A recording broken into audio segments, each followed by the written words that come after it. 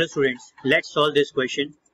In the given figure, side BC of a triangle ABC has been produced to a point D.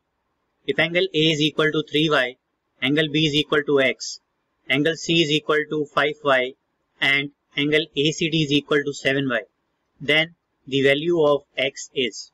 Alright, तो basically क्या मतलब है इस question का आपके पास एक ट्राइंगल है ए बी सी राइट और इस ए बी सी में इस लाइन को आपने प्रोड्यूस कर दिया है बीसी को कहाँ तक पॉइंट डी तक एंड यहाँ पर जो एंगल ए की वैल्यू है वो है थ्री वाई एंगल बी की वैल्यू है एक्स एंगल सी जो कि इनसाइड वाले एंगल यानी कि A C B that is five Y और angle A C D that is exterior angle it is equal to seven Y तो कहा जा रहा है बताइए एक्स की वैल्यू क्या होगी So let's start this question. First of all, we will write the given condition.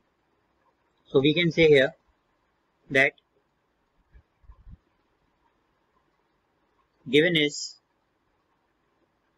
angle A, it is equal to 3y and angle B, it is equal to x, angle C, it is equal to 5y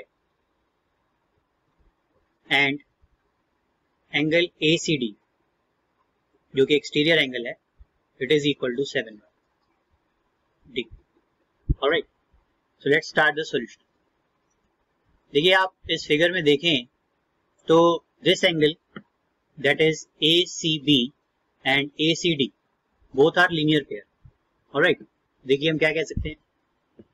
Solution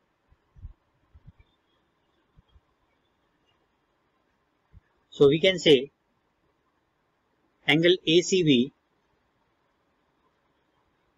plus angle A C D it is equal to one eighty degree right reason is both are linear pair both are linear pair right so this is five Y this is seven Y and it is equal to one eighty so यहाँ से अगर आप value find करेंगे तो देखिए, हमें value मिलेगी. It is twelve Y equal to one eighty eighty twelve Y equal to one eighty so Y is equal to one eighty divided by twelve cancel and it is equal to fifteen degree okay now angle ACD is equal to, angle ACD is equal to angle ABC plus angle BAC. Okay, because of exterior angle property. Exterior